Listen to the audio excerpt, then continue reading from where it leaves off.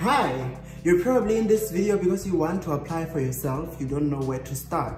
So I am Simgifty, I'm going to assist you on how to apply in University of Johannesburg or they say at the University of Johannesburg. I don't know which one is correct, but as long as we're here to do what we do. So um, if you're new, please make sure that you smash the subscribe button and you like this video and also share to your friends so they share to their friends and they all know how to apply for themselves. What you're going to need is just your cell phone and data connection. Make sure that your internet connection is stable. And also all the documents that are required, I'm going to list them so that you know um, and you are ready to apply at the University of Johannesburg. What I'm going to need you to do is just like flip your phone. Is it flip, tilt?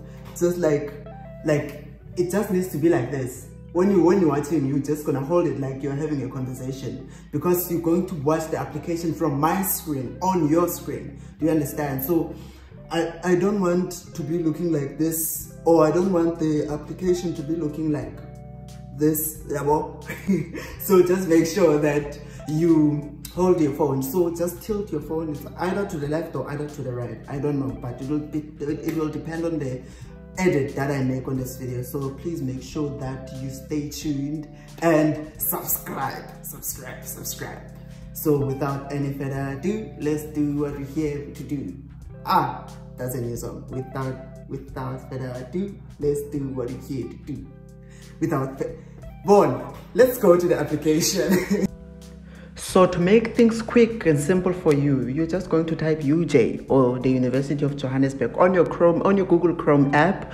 Then this is what you're going to come across. Then you're going to click the apply now section. Then after that, there's this orange banner. Do you see one, two, three? On number four, they say apply now. You click there, then after that, you scroll then if you're a new applicant, you're going to click on apply here. In this case, it's a new applicant. Then if you do not have the UJ student number, you're going to say no, you don't have the student number. And if you're returning, if you applied but you didn't finish applying, you're just going to say yes. But if you still, if you're new, like completely new to this application portal, you're just going to say no. Then after that, um, they will say uh, read and accept the POPI Act so uh, POPI is like um, the Protection of Personal Information Act. So you're going to accept that and then after that you say next. Then after saying next, they're going to ask you like a lot of questions. They're going to say, are you a South African citizen? If you are, you're going to give them your ID number then after giving them your ID number, you go straight to giving them your gender. In this case, I'm applying for a female. Then if you want to give them your date of birth, you're just going to click on this um, icon, this calendar icon. Then after getting this calendar icon, you're just going to select um, if you are born on the on March on the 10th, then you're going to click um, here. It's 2004. The person I'm applying for is a 2004. Then after that, their title, okay, if you're not married, you're just going to select MISS, Miss. Then the initials, your initials are basically the first letters of your names. Okay, so it's gonna be AZ because her first name is Ayanda, her second name is Z, like she has another second name. So then you you like wherever you see this red asterisk, this star, it means that that section is compulsory. You need to fill that section. You must fill it. It's compulsory for you to fill it up. Then you finish like you finish you fill this whole form up your marital status you select you're single if you're not married then your home language, you select your home language here. There's just Zulu, Xhosa, Venda, and so on and so on. Then your ethnic group, you select if you're an African, you can state that you're an African, if you're colored, if you're Indian, or you can just state other if you do not want to just um, disclose. Then after that, you have your street address. So you're just gonna, right here, you're gonna write the name of your street. Um, right here, the name of your suburb where you live. This part here doesn't have a star, it's not compulsory. Even the province is not compulsory. But if you do have the energy, you can just fill them up. Then your postal code, when you're looking for the postal code you click on this banner then after that they have these postal codes then if you know your postal code let's say it's 1054 it's just going to say 1054 then you click the percentage again then you click on search then after that they give you a Ceylon's river then you click on this number 1054 then this is how you get your your, your postal code. Then this is your uh, contact information. They just ask you the basic questions then you answer you you fill in your cell phone number that you're going to use for correspondence that you're going to use for correspondence and then your email you verify it. Verifying means you type it again. Then your residence information like if you want to apply for residence in the university the resident that is within the university campuses. It's either you click yes or you click no. Then if you do not have a disability you do not click on this box. But if you do have a disability or impairment you do click on this box. Then you click on save and continue so after clicking the save and continue button you will be directed into the second stage of the application. So here you're going to fill in your next of kin details. It could be your mom your brother your sister your grandmother your spouse. It could be anyone. Like that is close to you. These are the people that could be called in case of an, an emergency. Then your account contact detail could be your guardian, it could be your mom, it could be your dad, it could be your aunt. Then you put on their names as they appear in their ID. Then their contact address information, you're going to put on their address, the postal address, and so on. Then remember, when it comes to the postal code, you click on this icon then after clicking on this icon it will show you like how to select like we did on the first stage of the application. Then on the email address part you fill in their email. If they do not have an email because it's compulsory you can put in your email it's not a crime. Then you're going to click on save and continue to go to the third step. Now this is the third step of your application. They will want your results details. So I'm applying for a first time applicant. They're going to want the matric year, the year that you are in matric. Her matric year is 2023. She's currently in matric. Then here, undergraduate or postgraduate, you're going to apply undergraduate. You're still a new applicant, fresh from high school, right? And you haven't finished any degree that you want to continue. So you could just going to say undergraduate. Do not apply for a postgraduate if you are still in high school or if you are not furthering a degree or a diploma. Okay. So are you upgrading? No, you are not upgrading. But if you are upgrading, you're just going to say yes. Then if you are completing your international matric there's an option to choose here but this one is south african just going to say sa matric then after that indicate your endorsement that is nsc you're going to click on this banner on this magnifying glass banner. Or you can just say icon.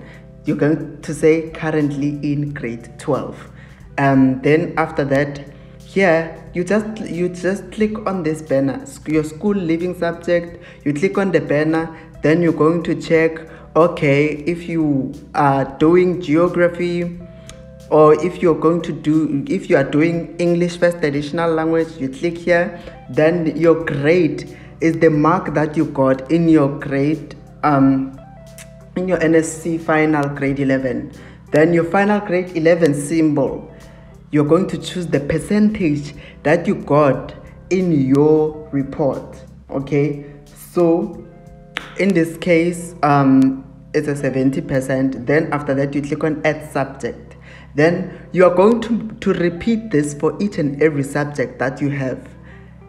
You select the first one is you select your school leaving subject. It's either agricultural sciences geography english Sepedi ndebele zulu home language anything. Then your grade it's nsc then your final grade 11 symbol you choose your percentage the percentage that you have got in grade 11 then after that this will be shown. You see it will show that okay um, this is what I have. Then after that there should be seven. It should be seven subjects if you're doing seven subjects. Then after that you're going to click on save and continue to the next step. Okay on the fourth application step if i'm not mistaken you're going to um, see something like this here they want your school details. As you usually should do is to just click on this magnifying glass thingy. Then you search for your school. Then you get it. You click on your school. Like then what are you currently doing? Obviously if you're grade 12 you're just going to select grade 12 pupil. Then after that um, you're going to click on save and continue to be on the fifth step after finishing the fourth step you're on the fifth step. They say eligible qualifications. So you're going to determine which qualifications you qualify for. Which courses you qualify for by clicking on determine eligibilities. Then after that, you're going to choose, you're going to make your choices as to which qualification you want to apply for using this determine eligibilities button. Just make sure that you click on this button.